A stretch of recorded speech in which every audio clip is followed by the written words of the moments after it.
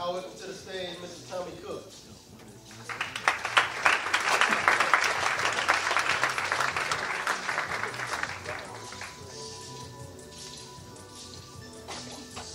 How y'all doing? I just got here tonight. I'm not from school, not even from the area. Uh.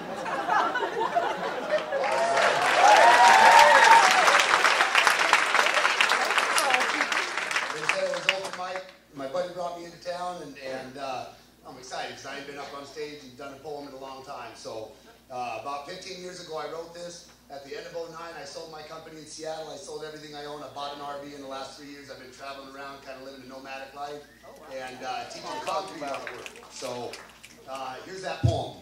Nomadic and trapped, I need to be slapped. I keep myself here, it's really quite clear. I want to get up and go, and yet I tell myself, no. You're happy and stable and really quite able of being content without living in a tent. But that's bullshit, you know. I really should go from place to place without knowing a face and being secure without being here. So to the road I am headed, it's really quite dreaded in one side of my mind, but the other side's fine. It's ready to leave and begin to receive what that road has to give. It's time that I live that nomadic life. No husband and wife, just me my truck, and I don't give a fuck where the whole thing ends, because I'll just start again, so I'm leaving right now, and you can't stop me.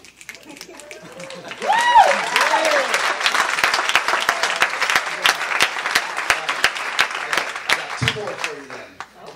This one's titled Confusion, and it moves quick, so you gotta keep up. Confusion's confusing, Confucius might say, but confusion is normal in the course of my day. I think thoughts that that's the depths of my mind, and those thoughts are confusing some of the time. Now, when I think of the thoughts that I thought of, I try to think of a theme. My theories that thoughts are extra extensions of extractions from my dreams.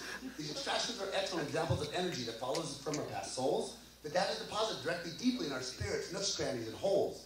And occasionally the outlets are out of the reach of our ordinary conscious state. So when we sleep, our soul slips, it'll shreds us some samples of our lives of a previous date. Now, thoughts that I think are a theory you know, and you may be barely able to believe. So, tonight before you slip off to slumber, tell your soul that tonight you'd like to try to receive, and maybe a little of the legacy of your last life you might be able to see. If not, then no matter, no worries at all. You're now just confused like me.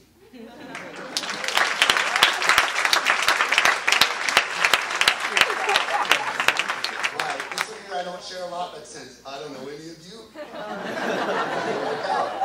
Uh, well, all right, you're in for a shock. This is this is uh, titled "Don't Judge a Book by Its Cover," because that book might kick your ass. That's true.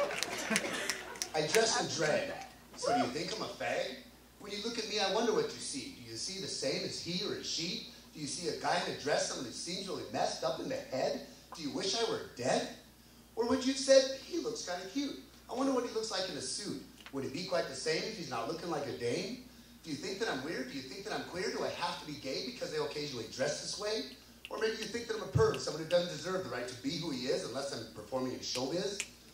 But I finally realized that I may not be sized to be who I want, but I sure can flaunt this side that you see because it's truly me. I'm comfortable in the dress, and I really must stress that I choose this way, not because that I'm gay. I'll have you know that I'm not. So you find yourself caught in a thought that you ought not have brought to your mind because now you see that you cannot place me in a category because I'm simply just me, and that's who I'll always be. When you look at me and see some faggot-looking dummy, then you better be aware because this here bitch doesn't just pull hair or scratch or kick. This bitch has a dick.